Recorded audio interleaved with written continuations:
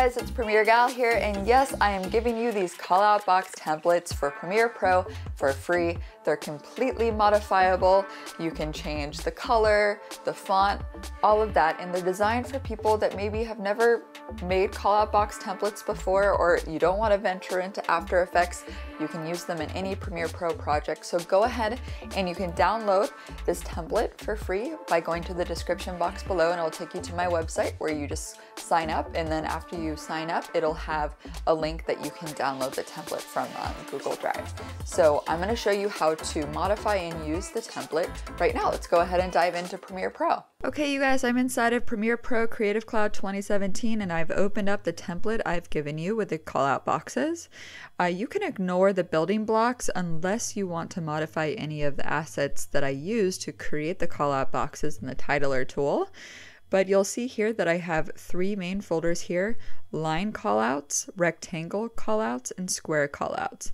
In each folder, there are four separate folders for each of the callouts I've made in that style. So there's four different line callouts, there's four different rectangle callouts, and there's four different square callouts. You'll also notice that there's a sequence in each folder, and that contains all the callouts for each type.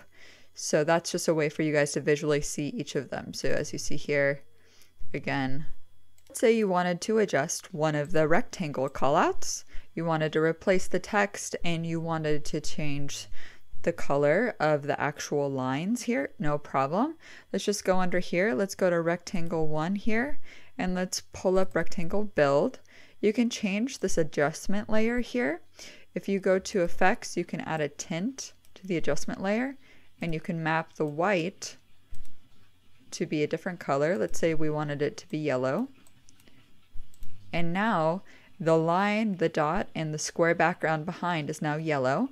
And then if you wanted to adjust the text or if you wanted to place an image here, just double click on this green layer and it will open up a new sequence where you can double click and you can change the background color here to not be purple. You can change it to a different color if you want or you can adjust the text to be whatever you like.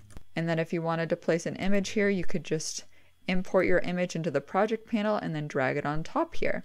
So that's how you adjust uh, the templates. And the same applies for all of the different callouts. So if you have any other questions, be sure to leave a comment below um, or on my website, premieregal.com slash contact. Alright you guys, so I hope that you found these callout box templates useful for your Premiere Pro projects. If you did, give it a thumbs up and please subscribe to this channel. I'm going to be giving away freebies to my patrons on my Patreon donation page each month delivered to your mailbox. If you go to patreon.com slash premieregal and leave a $5 donation or above, you can get free templates delivered each month to your inbox.